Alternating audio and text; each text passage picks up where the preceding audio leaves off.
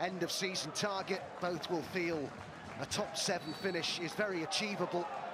Boreham just outside that right now. Barnet, one of the season's nice surprises, I guess you could say. The Bees fifth and flying. But it's Bruno Andrade leading the charge forward here.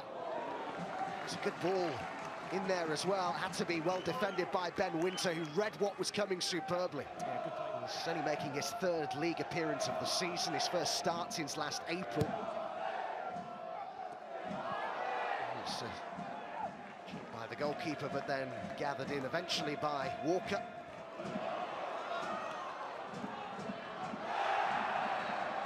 The foul by Fifields. Well, it's been Boreham Wood who've started this game, the better, showing the more intent, but here's a chance from a set piece. Yeah, I mean, these are so important, these set plays, to defend them well when you've started the game. I mean, you've got to see how fragile Luke Garrard's side is if they do concede that first goal, but you have to say they've started the game better. Delivery in there was a good one. It's the first effort on target for the Bees. It was Winter who found himself a long way forward. Yeah, as we're saying. Drifting inside and finding the room for the shot. Keen to make an impression today, can't he? Yeah, I mean, he's... Oh, nicely done. Really good ball there. Winter can pull it back. Great ball in there. And Kabamba with the shot. Such an important block there.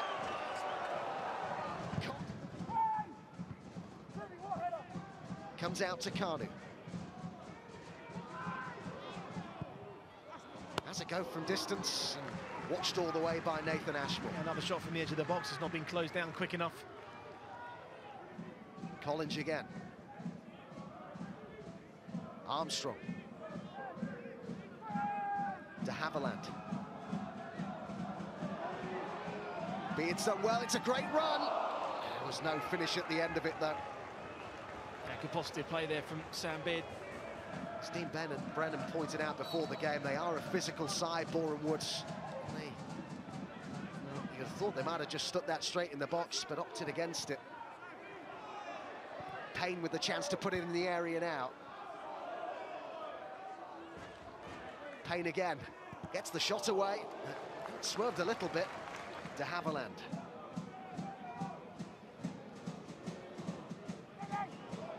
Kanu with the pass. Woods with the cross, and Winter looked to hit it, and Kabamba! Nicke Kabamba puts the bees in front. It's yet another game without a clean sheet for Boreham Woods. Well, again, it's a similar pattern of play. Those little through balls down the side are causing Boreham Wood a lot of issues.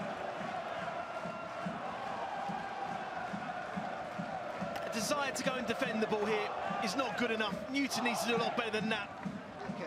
About the desire there of a player.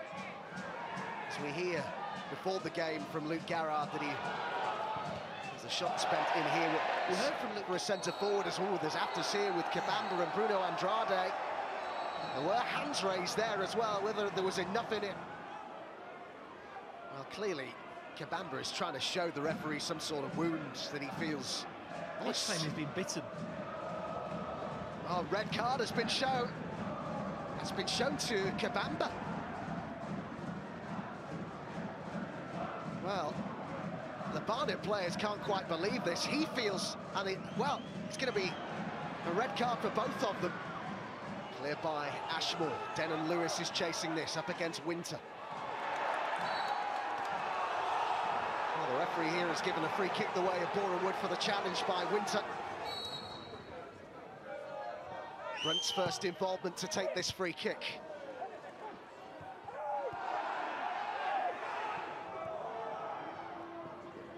Cox.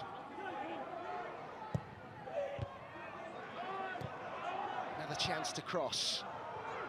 Now it might be put towards goal. It's spilled by the goalkeeper, and is it off the line? It's been scrambled over, and it's an equaliser. They couldn't keep it out. And it's Winter, Gorman, Hall. It'll be a moment of magic from him in what remains here. It's a good run. He's brought down by Ilisamni, who has been booked.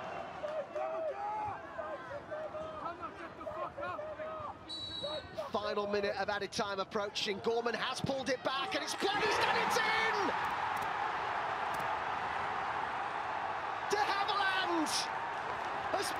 Just won this for the Bees.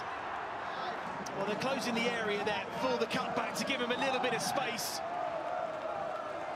And you just have to say, it's a controlled strike. It's an absolutely brilliant strike. And to beat Nathan Ashmore from that distance, the strike has to be absolutely perfect. And it was a huge goal for Barnet.